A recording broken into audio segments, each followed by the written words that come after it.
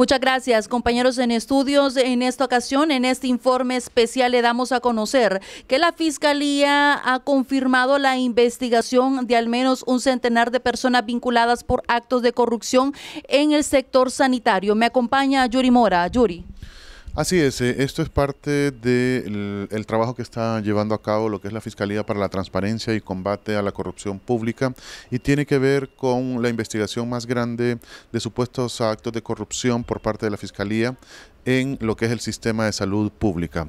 Aquí eh, se están investigando no solo funcionarios o exfuncionarios o empleados de esta secretaría, sino también personas que están vinculadas a algunos distribuidores de medicamentos, de equipo médico, así como también droguerías. Eh, ¿Qué es lo que se está investigando básicamente? Pues los posibles delitos de fraude, de sobrevaloración de equipo médico y de medicinas, así como también de medicamentos que fueron pagados por el Estado, pero que nunca ingresaron a ningún centro de salud pública en nuestro país. Bueno, ¿ya hay alguna fecha para poder presentar estos requerimientos, Yuri?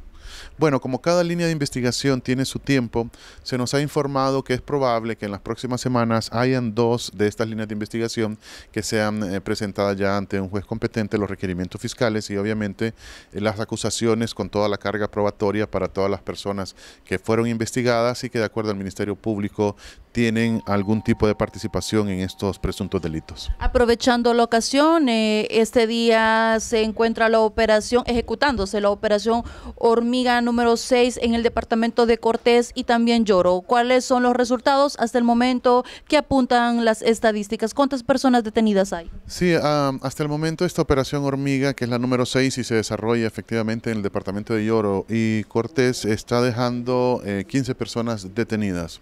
12 de ellas pertenecen a una estructura criminal de Mara o pandilla y fueron capturadas eh, dentro de un escondite que tenían en las faldas de El Merendón.